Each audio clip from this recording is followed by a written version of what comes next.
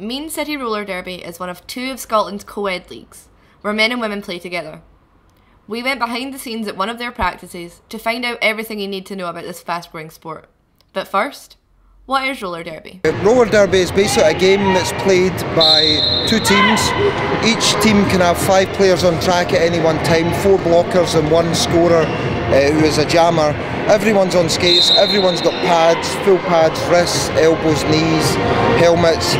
Um, it's full contact, but there are specific rules. You can't punch, you can't kick but the idea is to try and for the jammer, the scorer, to get through the pack and then start lapping opposition players. For each one of them they lap, they get a point. The action's broken up into jams. You normally get about 40 jams per game. There's two halves.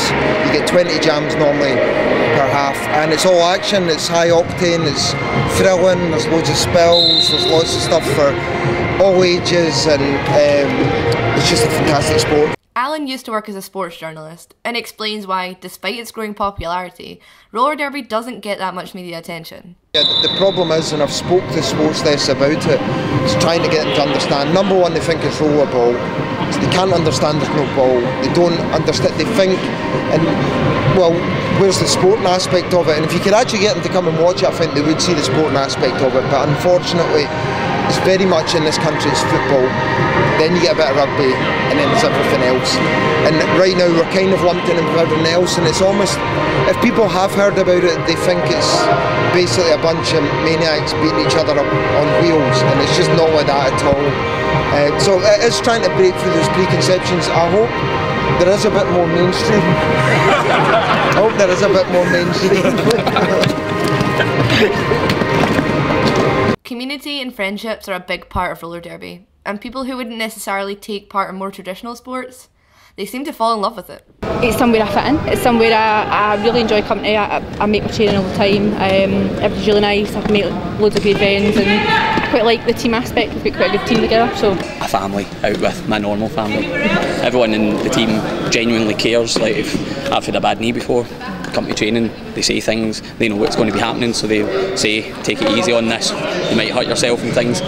People that genuinely care because they want you to be fit for the team rather than you injure yourself and then you're out. Roller derby is different to many mainstream sports, like football, because it's dominated by women, and men's leagues and co ed leagues are in the minority. One of the, one of the things that attracted me to roller derby was the fact that, uh, unlike many sports, it's actually led by women so there's an inclusiveness there that, it's not this kind of almost like it's a magical world where everyone's trying to outdo each other.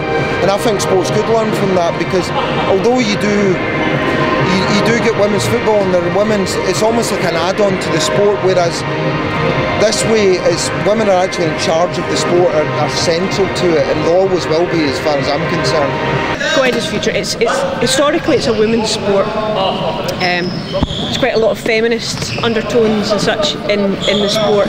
Um, but I, I, I, started off just playing women's only and then co-ed started to appear a bit more in Scotland and I got involved. Um, I helped out with the Power of Scotland, which is the men's national team last year. I was their fan liaison and, and things like that. Um, and I've just got more and more heavily involved with the men's side um, and personally, I enjoy hitting over big boys. Um, there's a lot of things girls do differently to guys. Guys were a lot about the big hits and the flamboyant play style. The girls were a lot more about control and smooth play. And now we're seeing a lot of that coming over to men's derby as well. So the, the impact of the wedge really helping us.